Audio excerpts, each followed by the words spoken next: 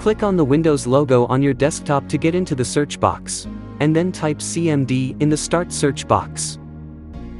In the search results list, right-click Command Prompt, and then click Run as Administrator. When you are prompted by User Account Control, click Yes to continue.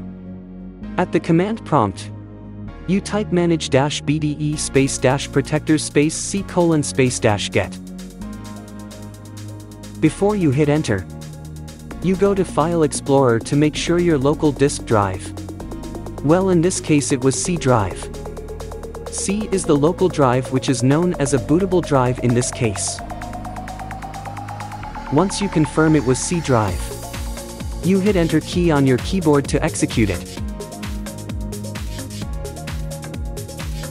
I will leave the command in the description of this tutorial video so you just copy and paste it into your command prompt window so you can avoid of typing error.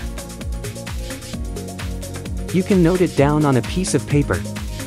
Or take a photo of it. Your BitLocker recovery key is a unique 48-digit numerical password that can be used to unlock your personal computer. I highlighted it so it is easy for you to identify the BitLocker recovery key. Thanks for watching. If you would like to see more, go ahead and subscribe to my channel. Leave a thumb up on this video as well as share it to your friends.